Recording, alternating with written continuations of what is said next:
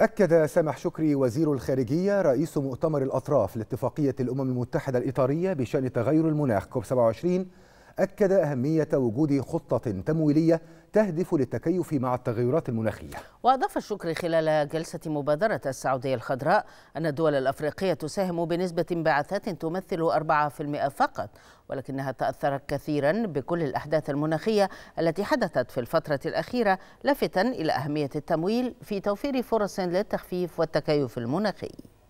نحن ندرك التحدي وأن التحدي خاصة في البيئة الاقتصادية الحالية وأن هناك الكثير من الضغوط ولكن كما قال النجاة سواء كانت صعوبات اقتصادية أو صعوبات سياسية فإن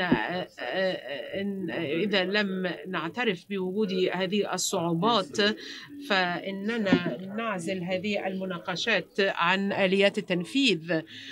وكذلك تكون بمعزل عن الظروف وستعيق أي طرف من الأطراف من العمل وسيكون وضعا صعبا.